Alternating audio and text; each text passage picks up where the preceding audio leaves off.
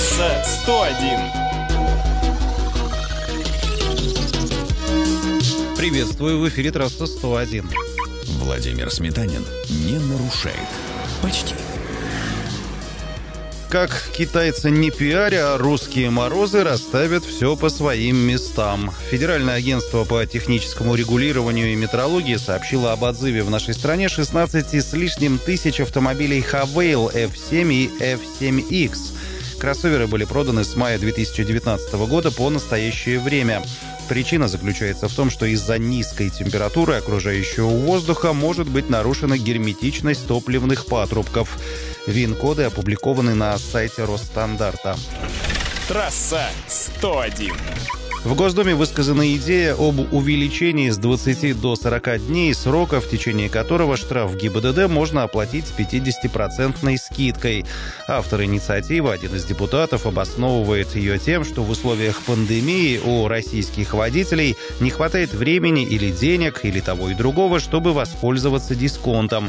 Что-то подсказывает, что таких народных предложений в преддверии выборов будет еще немало. Трасса 101. Знаете ли вы о существовании на российских дорогах автомобилей с объемом двигателя менее 1 литра? Вот. А власти нашей страны в рамках программы по защите экологии хотят выплачивать владельцам таких авто субсидии. Также обсуждается внедрение других, более реалистичных мер по снижению выбросов вредных газов. В их числе отмена или снижение транспортного налога для электрокаров или машин, работающих на газе, на федеральном уровне. Трасса 101. Компания Renault будет выпускать новый компактный кроссовер, получивший название Кигер. Длина машины составляет менее 4 метров, дорожный просвет 20 сантиметров. В линейку моторов войдет 1-литровый бензиновый двигатель мощностью 76 либо 100 лошадиных сил. Трансмиссия пятиступенчатая механика либо вариатор. Будет ли авто продаваться в России, пока неизвестно. Трасса 101. Очередное социологическое исследование показало, что большинство российских водителей, стоящих в пробке, развлекают себя прослушиванием музыки. Каждый седьмой, восьмой слушает аудиокниги, примерно столько же подпевают любимым композициям.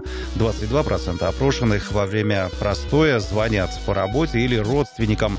6% признались, что просто сгорают от злости. На этом все. Вопросы и комментарии оставляйте на сайте Хакирова. До свидания. Трасса 101.